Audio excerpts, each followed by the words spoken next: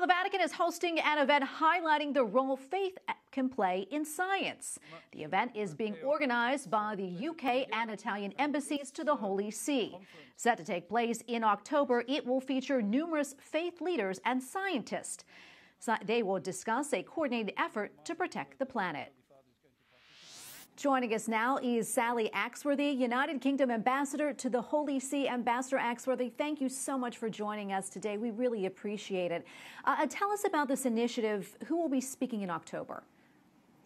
Okay, so in October, we're inviting uh, 40, nearly 40 faith leaders and 10 scientists to the Vatican to talk about climate change. And this is an, in advance of COP26, the Climate Change Summit, that will take place in Glasgow in November of this year.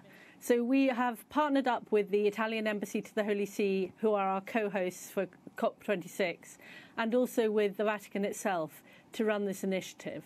And we're hoping that the faith leaders will come and they will give a message of encouragement uh, and they will ask uh, fa- uh, political leaders at COP26 to show ambition in tackling climate change.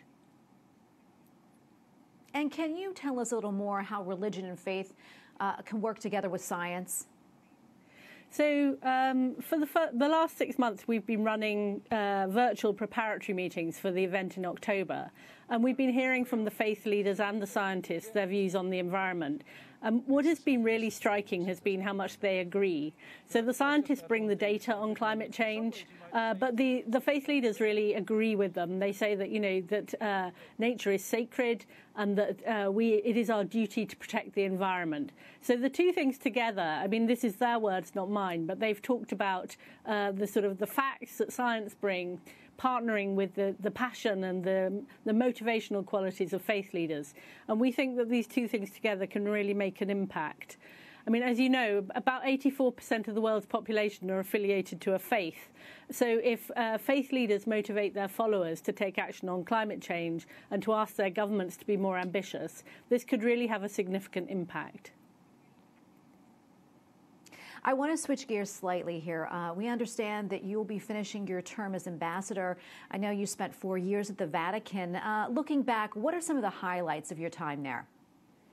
There have been many highlights of my time here. I mean, I think uh, I've I've very much enjoyed working here, and in some ways, it's been the unexpected things that have been the best things. Um, in 2019, we had the canoniza- canonization of John Henry Newman. The embassy organised a weekend of events to celebrate, and that was definitely a high point. We had a visit from the Prince of Wales. Um, I've also deeply enjoyed working with the Vatican on uh, on the dialogue with Islam. We did a conference quite near the beginning of my time here on uh, Christian and Muslim faith leaders tackling religiously inspired violence together. So that was another high point.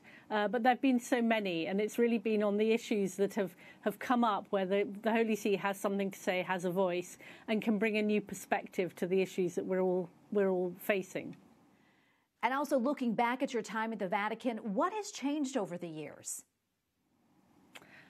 So I think one significant change has been uh, the involvement of women in uh, the work of the Vatican. I mean, when I first came here, I was uh, surprised to quite often be in a room that was sort of full of men, which isn't isn't that surprising when you think about it, because most senior positions in the Vatican are, are held by priests.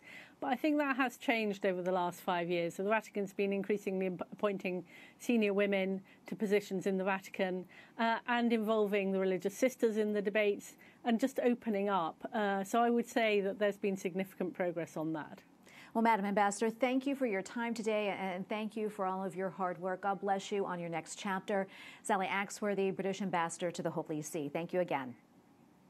Thank you.